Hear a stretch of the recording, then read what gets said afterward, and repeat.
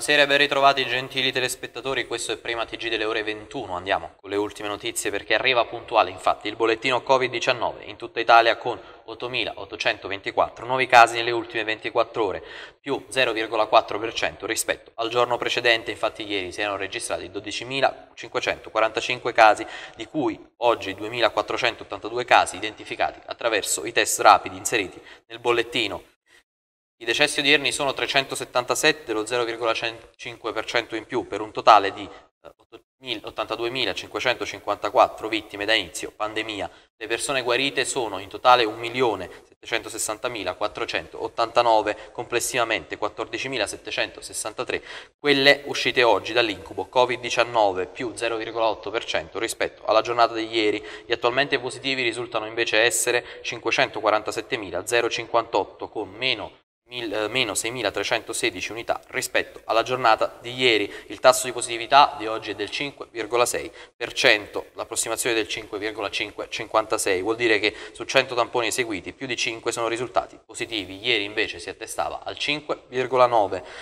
Scendono i contagi Covid-19 odierni anche in Campania, secondo il consueto bollettino dell'unità di crisi della protezione civile regionale sono 714 positivi del giorno, di cui 26 casi identificati dai test antigenici rapidi, di cui sintomatici sono 75, asintomatici invece 613. I tamponi del giorno effettuati sono stati 7700. 58, di cui 232 antigenici, per un totale positivi di 207.863, di cui eh, 156 antigenici e un totale tamponi di 2.245.559 unità. I deceduti sono 25, di cui 6 nelle ultime 48 ore e 19 in precedenza ma registrati solo nella giornata di ieri, per un totale deceduti di 3.395, guariti sono 1.138 per un totale guariti di oltre 131.000 unità.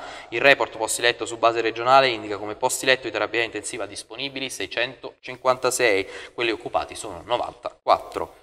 Il Presidente del Consiglio Giuseppe Conte ha parlato nell'Aula della Camera per, per, la comunicazione sulla situazione politica determinata alle dimissioni dei ministri d'Italia Viva. Andiamo ad ascoltare un estratto delle sue parole.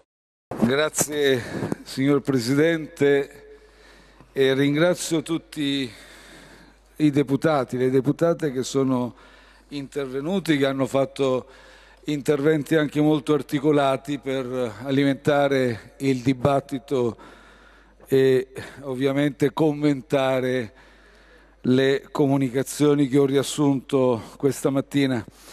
Eh, ho visto anche che da qualche intervento c'è stato qualche notazione, è emersa qualche notazione critica per quanto riguarda l'appello che io ho rivolto. Io devo dire che è un appello molto chiaro, è un appello molto nitido.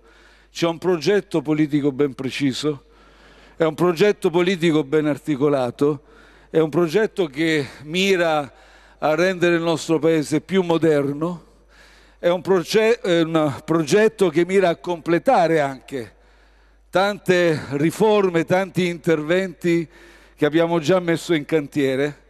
Abbiamo bisogno di offrire ai nostri cittadini di realizzare la transizione verde, abbiamo bisogno di perseguire la transizione digitale, abbiamo bisogno di affrontare oggi più che mai tutte quelle diseguaglianze, eh, diseguaglianze vecchie e anche quelle nuove, perché questa pandemia lo stiamo sperimentando, uh, sperimentando tutti insieme, sta creando nuove diseguaglianze, sta ridisegnando le vecchie, sta trasformando anche i rapporti tradizionali, sociali e sta creando nuove diseguaglianze. Quindi oggi abbiamo una società che rischia di uscire da questa pandemia con forti diseguaglianze di genere, ancora più accentuate, generazionali ancora più accentuate, territoriali e così via.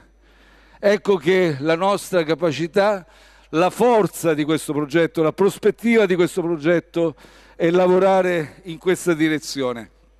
E non bisogna avere timori e nessuna timidezza quando si ragiona con uh, sguardo chiaro, con prospettiva certa. Intanto, a seguito delle parole del Premier Giuseppe Conte, il deputato di Forza Italia Roberto Chiuto ha confermato che nessun deputato del partito voterà la fiducia al Presidente del Consiglio, il tutto aggiungendo però che Forza Italia potrebbe votare provvedimenti necessari e ritenuti giusti come ad esempio per lo scostamento di bilancio. L'ufficio stampa del commissario straordinario per l'emergenza Covid-19, Domenico Arcuri, ha comunicato che la Pfizer ha ridotto di circa 165.000 dosi il nuovo invio dei vaccini. Questa decisione, assunta a detta di Arcuri in modo totalmente unilaterale, crea più di qualche problema nella simmetria tra le regioni Abruzzo, Basilicata, Marche, Molise, Umbria e Valle d'Aosta sono infatti le uniche regioni che non avranno tagli nella distribuzione dei vaccini Pfizer-BioNTech. I primi disagi già ci sono in Sardegna, la Pfizer infatti ha dimezzato le dosi di vaccino contro il coronavirus destinati a questa regione la regione ha dovuto sospendere la campagna vaccinale vaccinale finora limitata agli operatori sanitari, residenti e personale dell'RSA. Sono poco più di 7.000 le dosi che dovrebbero arrivare oggi invece e oltre 14.000 abbiamo dovuto sospendere la nostra campagna così come è stata programmata. Somministreremo solo le seconde do dosi, ha spiegato all'ACI l'assessore regionale alla sanità Mario Mieddu. Procida è la capitale italiana della cultura per l'anno 2022. È stata proclamata una maggioria presieduta dal professore Stefano Baia Curioni dopo l'esame dei dieci progetti presentati dalla città che si sono candidate. La designazione si è svolta alla presenza del Ministro per i beni e le attività culturali e per il turismo Dario Franceschini. Si erano proposte ancora Bari, Cerveteri, L'Aquila, Pieve di Soglio, Taranto, Trapani, Verbania Lago Maggiore e Volterra.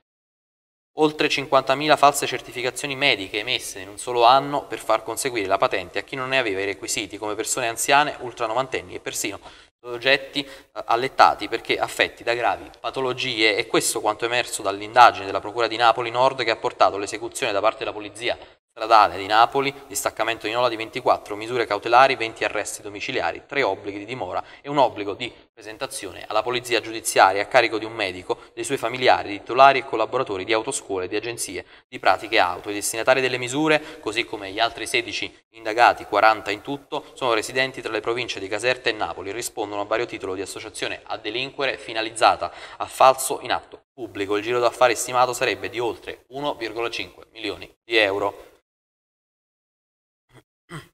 Era in un appartamento di Napoli il Salvator Mundi, dipinto di scuola leonardesca di ingente valore, risalente al XV secolo e facente parte di una collezione custodita presso il Museo Doma della Basilica di San Domenico Maggiore del capoluogo partenopeo, tornato oggi nella cappella Muscettola dalla quale era stato trafugato. A trovarlo sono stati gli agenti della sezione reati contro il patrimonio della squadra mobile durante un'indagine che li ha portati in via strada provinciale delle Brecce. Il proprietario dell'appartamento dove il quadro è stato trovato, un 36enne, è stato sottoposto a fermo con l'accusa di ricettazione.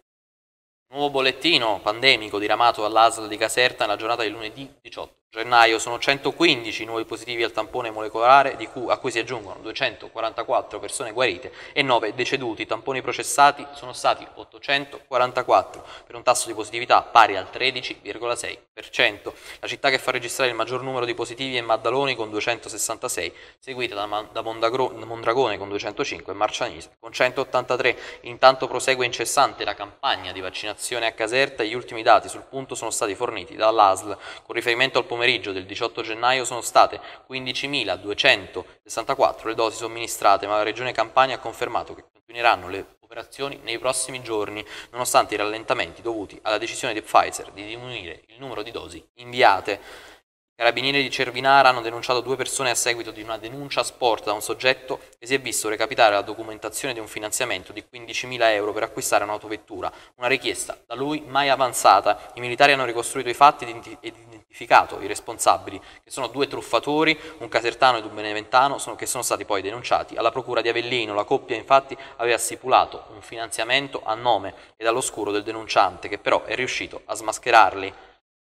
Grande vittoria del Napoli ieri al Diego Armando Maradona contro la Fiorentina nel match delle ore 12.30 che i partenopei hanno vinto 6-0, tutto facile per i uomini Gattuso che chiudono il primo tempo davanti 4-0 grazie alle reti di Insigne, Demme, Lozano e Zielischi. Nella ripresa lo stesso capitano ha trovato il 5-0 dal dischetto mentre Politano ha siglato il definitivo 6-0 con una giocata delle sue. Con questo successo il Napoli sale momentaneamente al terzo posto a pari con la Roma anche se con una partita da recuperare contro la Juventus a meno 6 da Inter e Milan impegnata questa sera a Cagliari.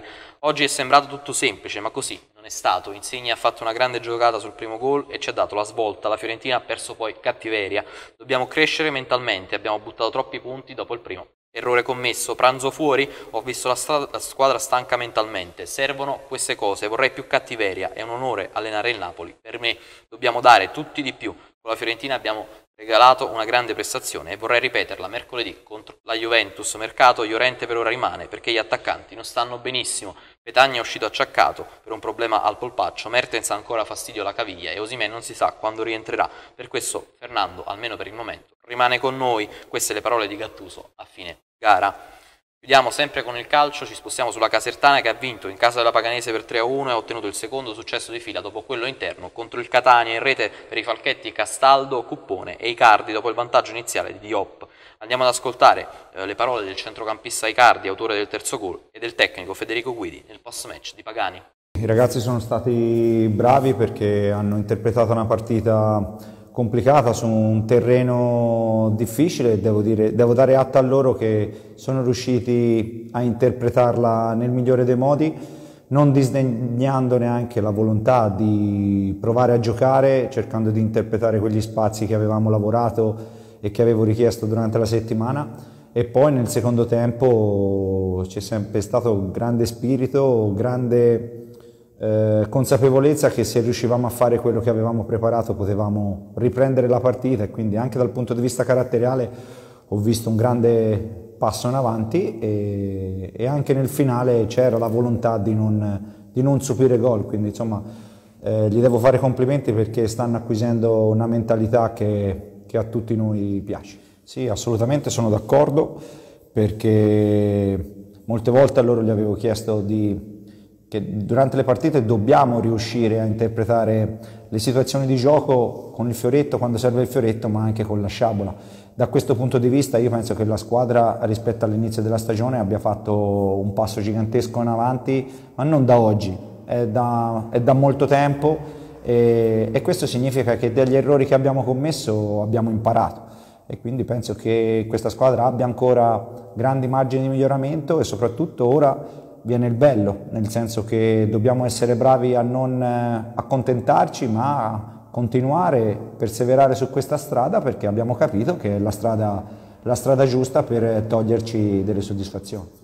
Sì, vabbè, abbiamo reagito benissimo e ci siamo meritati una vittoria che è, era molto importante sapevamo quanto fosse importante e veniamo quindi da, venivamo quindi da una, da una, bella partita contro il Catania e, trovandoci ad affrontare la, la Paganese una situazione delicata, un campo complicato, loro è una squadra che gioca un po' sporco e ci fa giocare sporco e siamo stati bravi a, a riportare la partita dalla nostra parte. Sì, serviva magari un po' più di, di peso, un po' più di, di, di, di, quantità mista a qualità che Gigi ha e sappiamo che ha. E anche, anche l'episodio del gol ci ha dato quella spinta in più per credere che potevamo ribartarla, anche perché poi mancava penso più di 30 minuti dalla fine della partita, quindi senz'altro è stato fondamentale.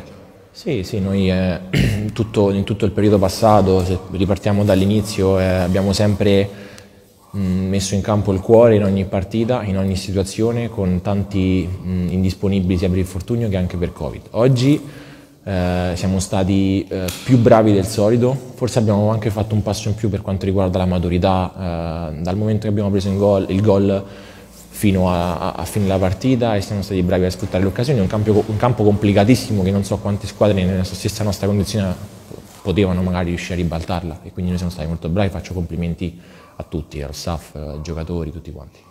Per questa edizione di Prima TG è tutto, appuntamento questa sera con Zanzara d'inchiostro e domani sempre sui nostri canali. Un caloroso arrivederci.